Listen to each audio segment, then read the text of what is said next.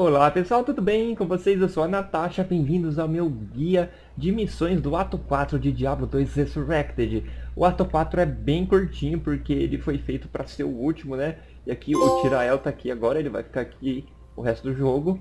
E beleza, é, a gente tem a Pedra da Alma do Mephisto que pegamos dele no final do Ato 3.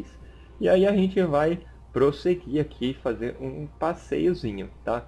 Então a gente chega nessa área aqui, é, steps externa, outer steps, e a gente tem que encontrar a próxima área. Só tem uma área ligada a ela aqui. Tá? chega aqui. Planície do Desespero, Plains of Despair. Aqui você tem que encontrar o Isual. Isual? A hora que você encontrar ele, ele vai vir correndo assim. Aqui, ó. Isual, tá? Esse monstrengo aqui. A hora que você matar ele... Nossa, tá forte. A hora que você matar ele, vai fazer um anjinho aqui e tal, você conversa com ele, e aí a quest vai falar para você voltar para a cidade e conversar com o Tirael. Quando você conversar com o Tirael, vai completar a quest, você vai ganhar dois pontos de skill. Muito legal, tá? E aí você continua até chegar na cidade dos condenados. Eu já tô aqui no waypoint, mas ó, o caminho tá aqui, ó, tá bem próximo aqui, né? Ah, tá, tá perto aqui, tá? Você vai então entrar aqui no Rio de Chamas, River of Flame, e aqui em algum lugar você vai encontrar a Forge Infernal, Hellfire Forge, e aqui tem o Refasto. A hora que você matar o Refasto, ele vai dropar um, um martelo, o Hellforge Hammer, é, em português não sei o nome, ele não dropou porque eu já fiz a quest, você vai equipar ele, você vai quebrar esse altar. Quando você quebrar esse altar, você vai ganhar bastante joias, tá? Gemas, né? Joias, gêmeos, a mesma coisa. E uma runa. É, é garantido que ganha uma runa.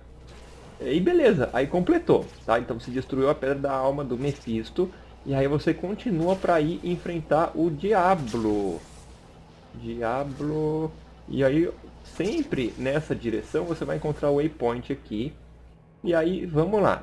Para enfrentar o Diablo, na primeira vez, provavelmente você queira matar tudo que tem aqui, porque se você morrer você pode voltar andando, tá? Mas especificamente para matar o Diablo, você precisa fazer pouca coisa. Tá vendo os selos aqui, ó? Você tem que abrir o selo, abrir o outro selo. Um dos dois selos vai chamar uma galera. Nesse caso aqui, ele vai chamar...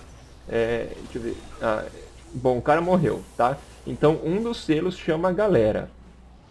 Aqui que tem o, um dos mais difíceis, que é o Lord D6. Então você abre o selo aqui, abrir, e aí o Lord D6 aparece aqui, tá? Ele não vai dar nem pra ver que já morreu, tá? Então tá vendo? Não precisa necessariamente matar todo mundo, mas se você tiver fraco, você não vai dar conta, né? E aí eu vou abrir outro selo e vai vir aqui mais um, mais uma gangue, agora são as gárgulas.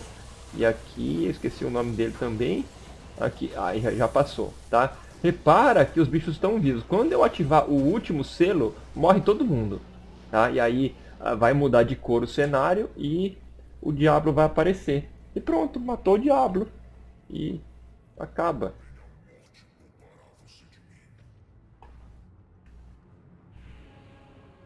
Aí você mata o diabo aqui. Pronto. Não tem nada de interessante aqui.